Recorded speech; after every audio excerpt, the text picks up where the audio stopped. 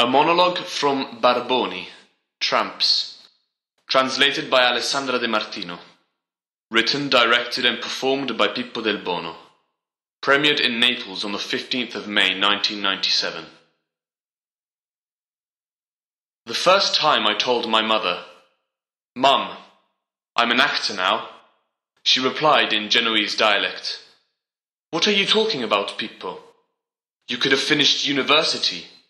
You were doing economics. You could have earned some money. You always need money in your life. Instead, you became an actor. What kind of a job is an actor, Pippo? So I told her, Mum, I'm also a director. A director? Pippo, you could have gotten yourself a pretty girl and married her like normal people do. But he didn't. He became a director. But, Mum, I do a lot of things, and a lot of people love me. You should be proud of your son. She goes, But, Pippo, you no longer go to Mass, no longer take confession, no longer take the communion. When you were little, you spent the whole day in church. You had blonde curls, and everybody said, What a pretty boy. He looks like a little angel. And what have you become now? Nothing. But, Mum, I can't spend my whole life in church. There are other ways to help people. But look at yourself, people. Look how you're dressed, with those shoes that look like slippers, those baggy trousers, that long hair, that beard. You know what you look like, Pippo? You look just like a tramp. Then something terrible happened. I fell in a black hole. I started being afraid of dying, more and more afraid of dying. So I didn't eat anymore, didn't sleep anymore, didn't wash anymore. I spent the whole day sitting on a chair like a fool.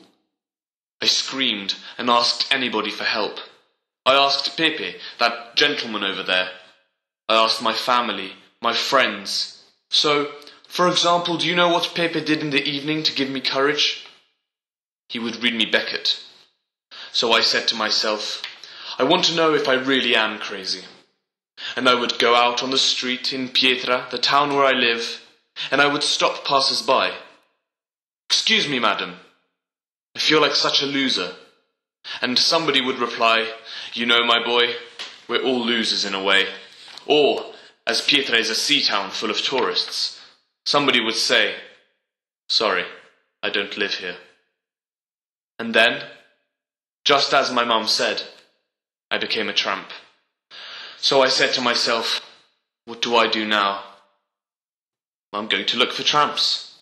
So I went out on the streets, in the squares, in the madhouses, and there I found people who, maybe because they had suffered more, looked happier, or at least made me feel happier. And then, one night, something very strange happened. I couldn't sleep. So I said to myself, what do I do now? I might watch a film. So I watched a film by Fellini, The Clowns. In the beginning, I saw these clowns, these, these fat women, and I felt more and more sad. And then, I don't know why, maybe I remembered when my dad used to take me to the circus, and I started to laugh. I started to laugh and it was the first time I had laughed again, after such a long time.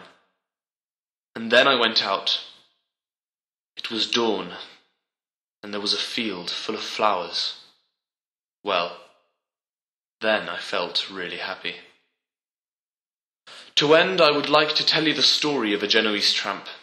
He roamed through town carrying only one thing a large suitcase, and nobody knew what was inside it. When they found him dead in the street, his sister, who thought he had died in the war in Africa, had the suitcase opened. Inside, there was all that Bernardo Quaranta, for that was the name of the Genoese tramp, had. His poems. The poems he had written on the bottoms of paper cups, on pieces of cardboard, on toilet paper. Those poems were the only thing Bernardo Quaranta possessed. And I believe that this show is dedicated just a little bit to Bernardo Quaranta.